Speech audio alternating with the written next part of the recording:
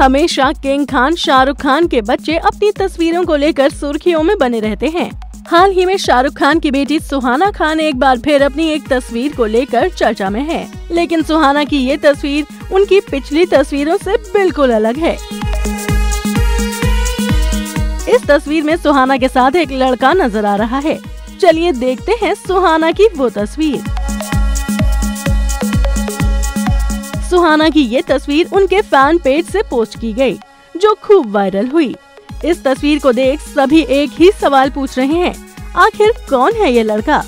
सुहाना के फैंस इस लड़के को उनका कॉलेज फ्रेंड बता रहे हैं। पिछले दिनों सुहाना अपनी माँ के साथ पार्टी में भी गई थी जहाँ उन्होंने खूब तस्वीरें खिंचवाई थी जो वायरल हुई हैं। सुहाना की इन तस्वीरों की खूब तारीफें हुई जिसमें वो कमाल की लग रही थी।